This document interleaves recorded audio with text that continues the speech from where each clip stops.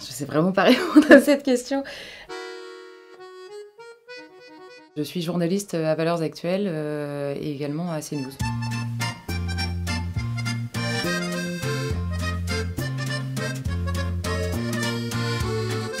C'est Jeanne d'Arc évidemment, qui est non seulement un personnage historique préféré, mais en plus un modèle assez quotidien que j'essaie de suivre euh, le plus fidèlement possible. Je rêverais de la rencontrer en fait euh, à ce moment-là, de voir quelle était la réaction euh, des autorités qu'elle a rencontrées, mais surtout de la population française et en particulier des Orléanais qui l'ont à la fois reconnue et puis qui lui sont restés fidèles à travers les siècles. Donc évidemment 1429 à Orléans. Si je reste dans la même logique, je dirais Pierre Cochon quoi. Pourquoi? Alors euh, déjà, on ne vole pas, hein, c'est pas bien, je précise. Je prendrai euh, le couronnement de la Vierge de Fra Angelico. Je prendrai le philosophe en contemplation de Rembrandt. Et puis quand même, Jeanne au sacre de Charles VII euh, de dingue. Je dirais la mort du roi, de Louis XVI. J'ai une grande compassion pour les deux, je dirais quand même Marie-Antoinette à la fin. Il y en a beaucoup, mais je dirais la terreur. Alors chanter une petite chanson, certainement pas. non, je réciterai euh, Adieu Meuse endormeuse de Peggy, et que j'avais récité devant le parvis de la cathédrale euh, pendant les fêtes de Jeanne d'Arc. c'est un poème magnifique en fait où Peggy écrit comme si euh, Jeanne parlait à la Meuse au moment de partir. Adieu Meuse endormeuse et douce à mon enfance qui demeure auprès où tu coules à présent. Meuse adieu, j'ai déjà commencé ma partance en des pays nouveaux où tu ne coules pas. C'est hyper émouvant en fait et pourtant elle parle à un fleuve. Bah, il y en a beaucoup et j'ai oublié les titres hein, par conséquent. C'est Leurs enfants après eux de Nicolas Mathieu. C'est un livre que j'ai vraiment, vraiment beaucoup aimé et qui décrit parfaitement euh, le basculement euh, de la France dans les années 90. Je m'y suis retrouvée déjà euh, assez personnellement et je trouve la description des différents personnages à la fois belle, troublante, émouvante et même parfois assez triste. Je sais vraiment pas répondre à cette question. L'Odyssée parce que le retour à la maison quoi et puis l'Odyssée aussi parce que le cheval de Troie quoi, c'est un peu l'histoire l'histoire incroyable quoi. Simone Veil. Ce serait la Bible quand même.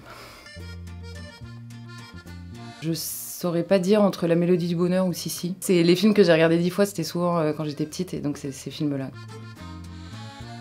Blanche-Neige parce que c'est le premier que j'ai vu, c'est le premier que j'ai vu au cinéma. Cette histoire, je sais pas, elle est à la fois touchante, en même temps c'est la découverte de Disney pour moi, donc ça reste à jamais le premier quoi. Euh, Romy Schneider et Michel Piccoli parlera quand il faudra porter quelque chose de lourd. Je pleure beaucoup pour des raisons très différentes en fait. Euh, je pourrais vous citer des films très tristes, des films très beaux. Il peut y avoir une réplique, euh, un père euh, qui parle à son enfant, ça peut me faire pleurer, un paysage peut me faire pleurer. Donc je j'ai pas un film qui m'a fait pleurer quoi. Il y en a beaucoup.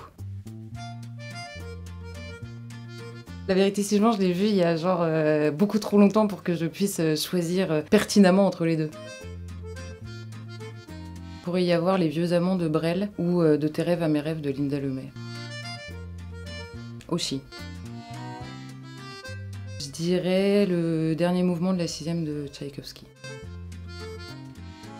Beethoven. C'est de ne pas avoir euh, réussi à convaincre tout le monde encore? Fatigant. Destruction. Caroline Fourest parce que euh, il est possible intellectuellement de répondre. Caroline Dehaas c'est beaucoup plus dans, de l'émotion et de la condamnation euh, sans argument.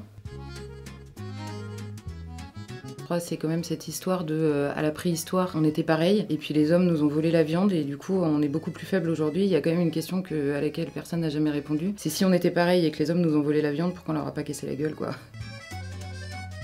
Je rêve d'un monde dans lequel il pourrait y avoir une harmonie en fait. On ne fait pas les mêmes choses, on n'est pas les mêmes. J'espère que je serai protecteur. Les deux. Euh, Banksy quand même. Le temps, enfin pouvoir me balader dans le temps. Aveugle quand même. Celle-ci? Non,